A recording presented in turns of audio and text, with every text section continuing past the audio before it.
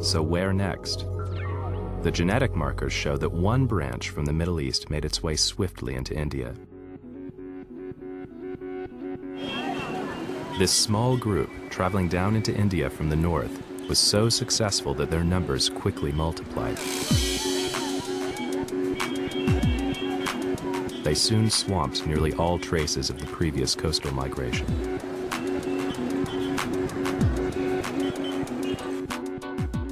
A second wave headed for China. Here, bounded by sea and mountains, they remained in isolation, developing a distinctive appearance. They were also to become the largest nation on Earth.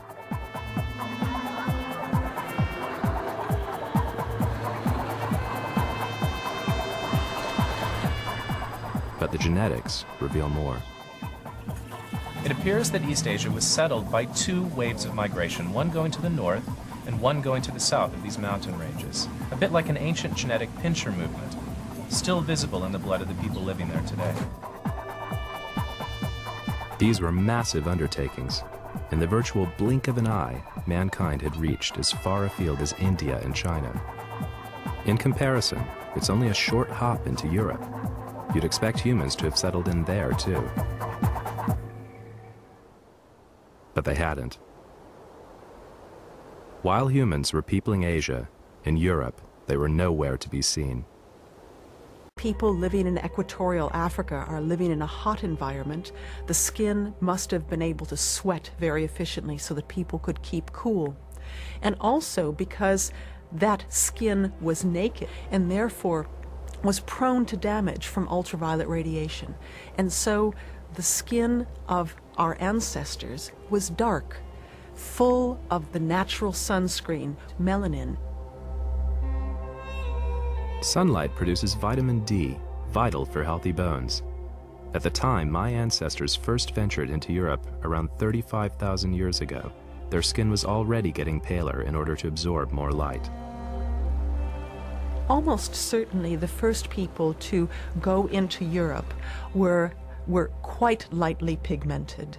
This is because Europe with latitudes in the in the 40s to low 50s is well a region of fairly low ultraviolet radiation throughout the year.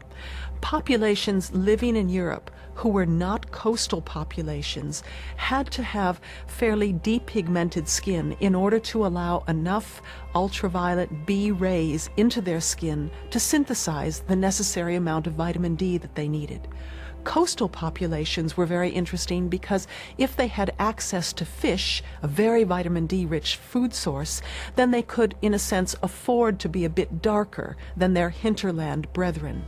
But one of the things that we have to think about when we talk about the populating of Europe is that the people who went into, especially some of the northern areas, had certainly well, they were wearing clothes. They weren't naked. They were covered with furs or some, some kind of simply sewn clothes. And so they had less of their skin actually exposed to the sun. So that's something we have to take into account too. When you wear clothes, you have less skin exposed, and the skin that is exposed has to do more work in synthesizing vitamin D. The Ice Age was to cut these first Europeans off eliminating any contact with the rest of the world.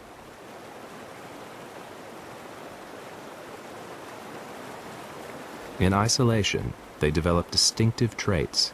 Their hair color changed, the shape of their noses changed, even their height. Today, people with European ancestors, like me and these French boules players, look pretty different from our distant relatives.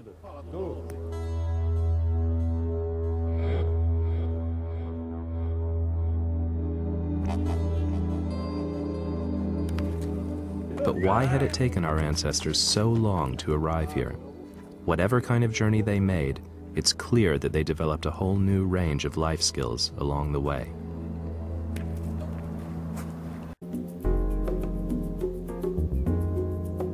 So why did it take my ancestors 10,000 years to get to Europe from the Middle East? And why had they changed so much? The accepted theory was that they made their way around the Mediterranean and up through Turkey. Then, our research threw a wrench in the works.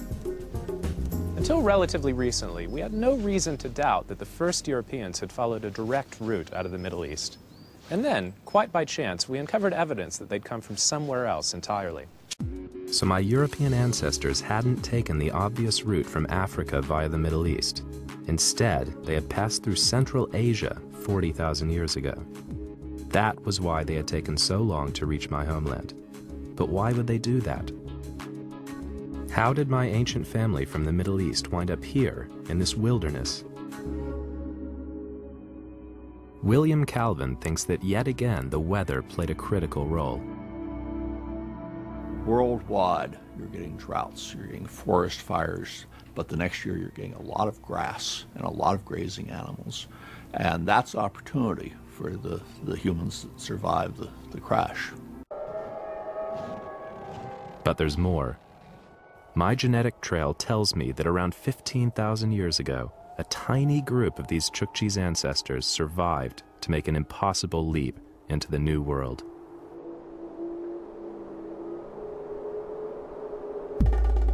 A journey which began with Niazov's family in Central Asia, then moved east along the length of Russia, left the ancestors of these incredibly tough Chukchi poised to conquer a new continent.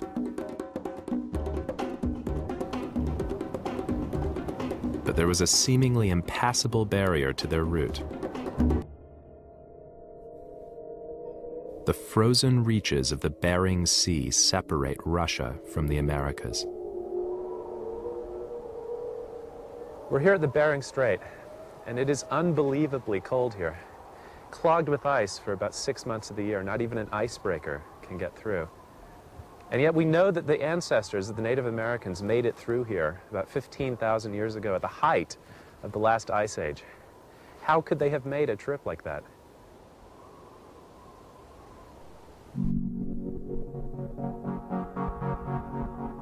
I followed the trail of the first humans from Africa to the eastern tip of Russia. I've met their descendants, the Chukchi, but blocked from reaching America by the Bering Sea, I can go no further. Yet I know the blood of these Arctic herdsmen connects them to Native Americans. How did they get there?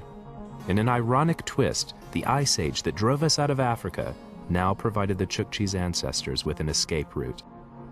As temperatures fell and sea levels dropped, a new landmass called Beringia was exposed from beneath the Bering Sea. This new land connected the Russian Far East to Alaska. The reindeer headed for new pastures. The few survivors followed them, taking mankind into uncharted territory, into the new world. The sea level was, was very much lower, about you could build a 40 story building, you know, to tell you how much the sea level had changed.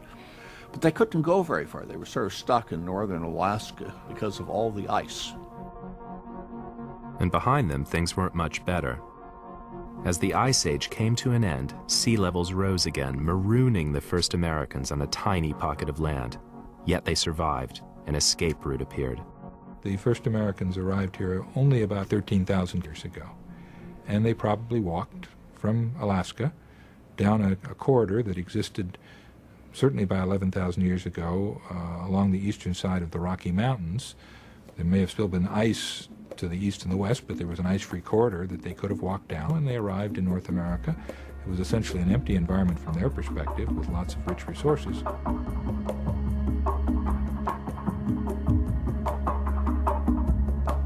A journey that had begun in Africa, divided in Central Asia, had now reached the last continent. For thousands of years, they had endured the most extreme conditions on Earth, and now this branch of mankind had found a new home. Our ancestors were pretty tough people. They'd survived drought, famine, and an ice age in order to get this far. Yet our genetic results tell us that the first group to make it through to the Americas had been whittled down to as few as 10 or 20 individuals. Today, their descendants are carrying, written in their DNA, evidence of those hardships thousands of years ago. But when they did get through, what was their reward? A land of plenty. They'd never had it so good.